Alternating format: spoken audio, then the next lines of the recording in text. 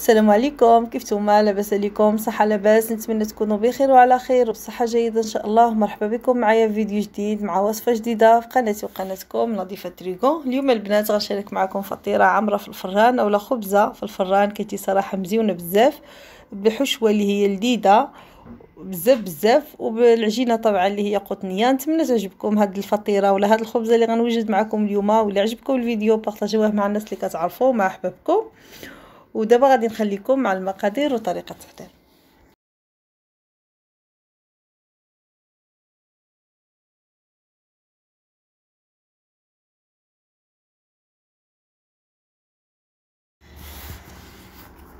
بالنسبة للمقادير اللي غنحتاجو عندي هنايا 250 غرام ديال الطحين الفينو كما كتشوفوا معايا.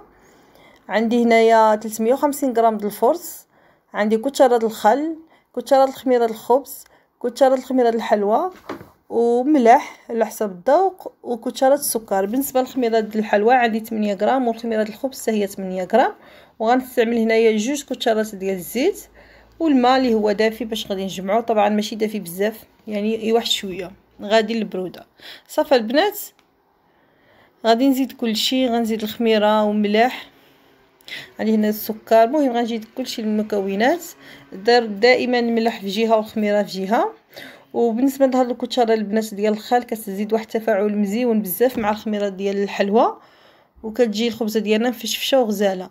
غنزيد جوج كترات ديال الزيت. غنخلي لكم المقادير في صندوق الوصف. مضبوطة باش اللي مهم غادي تجبروا تما المقادير. وغنبقى نزيدوا الماء بشوية بشوية وحنا كنعجنوا ما نزيدوش مرة واحدة باش ما يجيناش العجينه ديالنا خفيفة وعاوتاني العجينة ما خصهاش تكون قاصحة نهائيا. العجينة تكون رطبة. مهم حنا كنعجنوا كنزيدوا الماء بشوية بشوية وحنا كنشوفوا حتى كنحصلوا على القوام اللي بغينا. صافي البنات كما كتشوفوا أنا بعد ما عجنت العجينة كتكون رطبة بحال هيدا. كما كيوضح الفيديو آه كتكون العجينة اللي هي رطبة وفي نفس الوقت يعني ماشي خفيفة.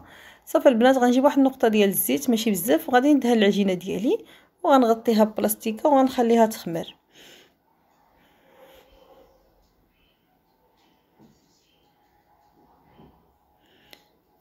صدقوني البنات هاد الخبزة في الفران كتجي غزالة.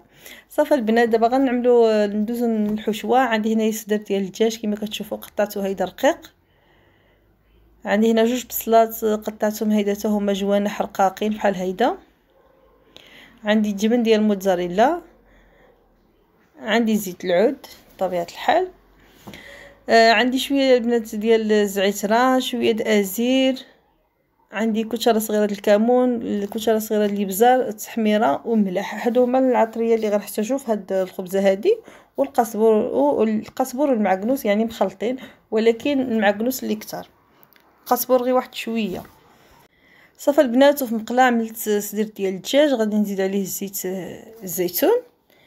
بالنسبة للحشوه البنات تقدروا تعملوا اللحم ولا تعملوا الكفتة ولكن أنا كنفضل كتجيب الدجاج كتجي غزالة البنات.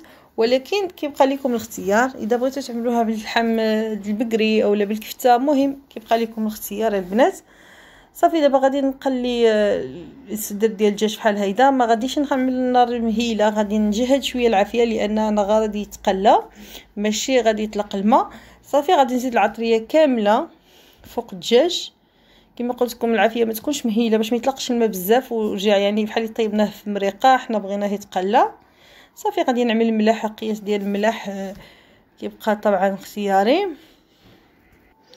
صافي البنات وغنخلط كلشي العطرية مع مع الصدر ديال الدجاج وغادي نقلي فيه بحال هيدا. صافي غادي يتقلى غير واحد شوية مع العطرية غادي نزيد له البصل.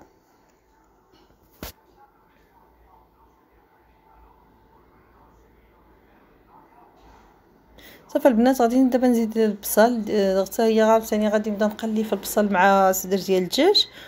غنزيد المعكنوس وديك شوية القزبور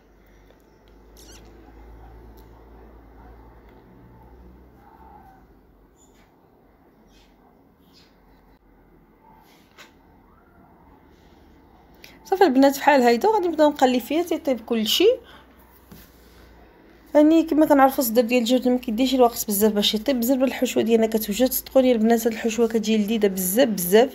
أكيد إذا جربتوها غادي تعجبكم. وغادي تردوا عليا الخبر. صراحة كتجي لذيذة بزاف مع هاد الخبزة. كتجي غزالة البنات. صافي دابا غادي نطفي على الحشوة ديالي. كما كتشوفوا راه صافي طابت وجدت. غندوز البنات عند العجينة اللي عجنا هي خمرات دابا غندوزو باش نشكلو فيها. غندهن واحد سطح العمل بشوية ديال الزيت ماشي بزاف. صافي البنات وغادي نقسم العجينة ديالي على جوج. غنعمل واحد الكويرة اللي تكون وحدة كبيرة شوية على أخرى. هي واحد شوية وحده كبيرة شوية وحده صغيرة.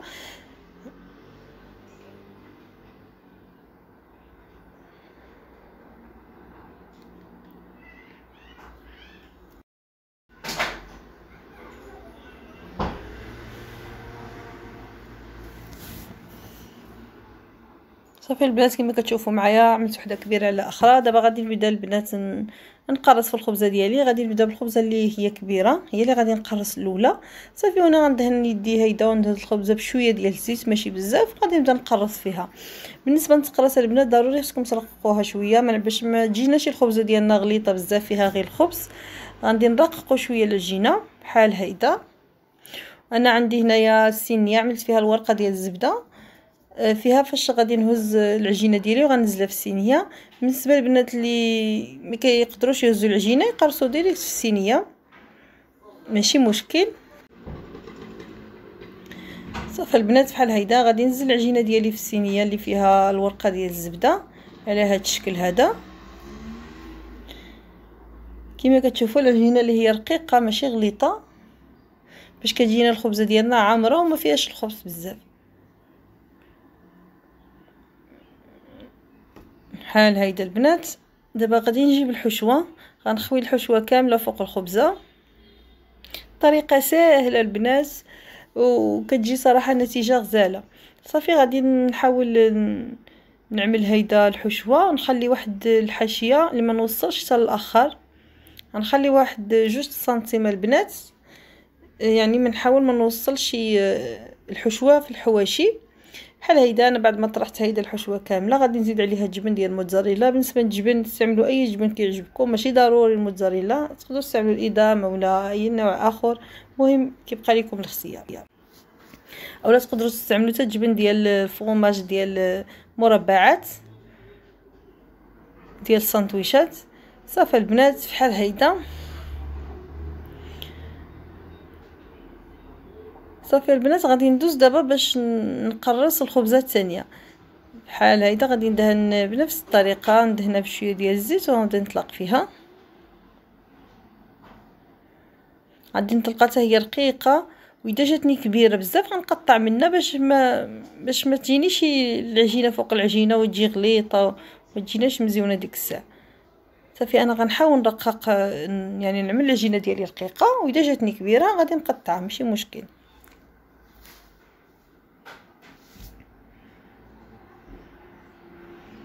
بحال هيدا البنات. غنجيب الموس وغنقطع شوية من العجينة كما كتشوفوا في الصورة بحال هيدا.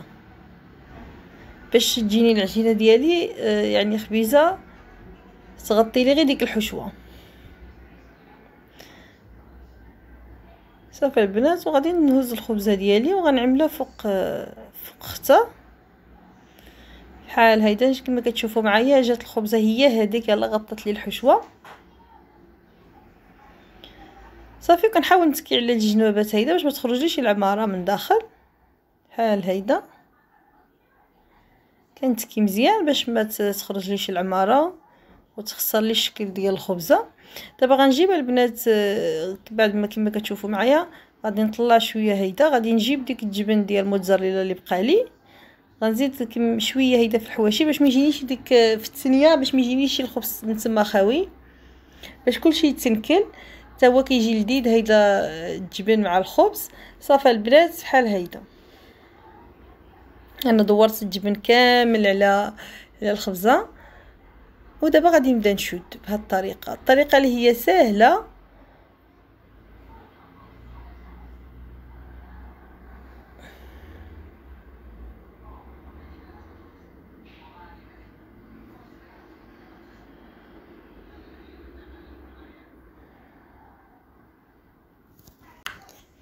صافي البنات فحال هيدا كما كتشوفوا معايا. كنحاول نهز العجينة ونطويها وكنتكي عليها وكنحصلوا على هذا الشكل هذا. باش العجينة ديالنا ما كتفتحش ضروري نتكيو عليها واحد شوية. صافي البنات خديت هنايا جوج ديال الصفار ديال البيضات زدت عليهم شوية ديال الصوجا بهم باش غادي ندهن الخبزة ديالي. وبالنسبة للبنات اللي ما كيبغيوش يدهنوا بالبيض عندهم حساسية من البيضات ولا شي حاجة عملوا غير الحليب وشوية ديال النسكافيه ودهنوا بها الخبزة راه غتجي حتى هي محمرة وغتجي بنفس اللون. صافي البنات أنا خديت هنا جوج الصفار غير باش يكفيني آه، في الخبزة كاملة. وندهن الخبزة ديالي مزيان. دابا بطبيعه الحال أنا دابا وصلت للمرحلة الأخيرة كنشعلت الفران باش يسخن. على درجة الحرارة 250 ومني غندخل الخبزة غادي نشعل الفران غير من تحت وغادي نقص على درجة الحرارة 200 المهم كما كنطيبوا الخبز عادي كل واحد كيفهم الفران ديالو كما كنطيبوا الخبز. بالنسبة للزرارع البنات غادي نعمل زريعة هيدا في الحواشي. استعملوا زريعة اللي عندكم في الدار يا زنجلان يا يا حب الرشاد يا حبه السوداء. مهم كما أولا كما استعملت أنا كل واحد البنات يستعمل الزريعة اللي كيبغي وطبعا الزريعة اللي عندكم في الدار. صافي البنات أنا بعد ما ساليت هيدا رشيت عليها الزريعه كاملة. غادي ناخذ واحد باريو غادي نسقب الخبزه باش ما تنفخش بزاف في الفران ويتخسر الشكل ديالها. غادي ندخلها دابا الفران اللي هو ساخ مسخن من قبل وشعلت له العافية طبعا غير من تحت. صافي البنات هذه هي الخبزة ديالي بعد ما خرجتها من الفران. كتجي على الشكل كتجي صراحة محمرة ومزيونة. هي باقي سخونة زوقتها شوية الفرماج باش يذوب كيبقى اختياري إذا بغيتو تزيدوا لا تزينوها ما بغيتوش خليوها هيداك راه هي كتجي مزينه راسها براسها. صافي غنقطع معكم البنات واحد التروسو باش تشوفوا كيفاش كتجي من الداخل كتجي صراحة غزالة بزاف بزاف. شوفوا البنات كيفاش كتجي من الداخل كتجي صراحة غزالة وما كتجيش فيها ديك البلعه ديال الخبز يعني بزاف. كتجي الخبزه اللي هي عامرة. ومزيونة. نتمنى تعجبكم البنات. كما كتشوفوا كتجي محمرة لا من الفوقي ولا من تحت كتجي ذهبية. نتمنى تعجبكم البنات. هاد الخبزة اللي شاركت معكم ولا هاد الفطيرة وإذا عجبكم الفيديو بارطاجيوه مع الناس اللي كتعرفوا مع أحبابكم. ونتلاقاو إن شاء الله في فيديو جديد مع وصفة جديدة. وبسلام عليكم ونهاركم.